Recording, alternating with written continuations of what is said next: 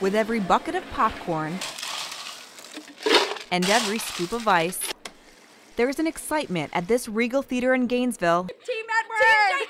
you can almost sink your teeth into. We wait for hours and hours and hours. Four showtimes, 14 auditoriums, and at least 2,200 people expected to feast their eyes on Breaking Dawn before the sun comes up.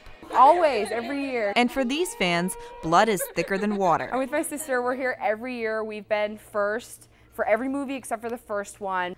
The Twilight Saga's biggest fans say it doesn't matter if you're Team Edward or Team Jacob, you're going to be at the theater seeing the movie as soon as it comes out. Team Edward, all the way. I'm Team Switzerland. I go back and forth. I was originally Team Edward all the way, and I actually, when I saw the movies, I really like the guy who plays Jacob. So now when I read the books, all I can think of is him, and so I really, really like both of them. She's not alone. The second and third installments of the series have the second and third highest opening day sales ever, behind only Harry Potter. Whether Breaking Dawn will break any box office records remains to be seen, but one thing's for sure.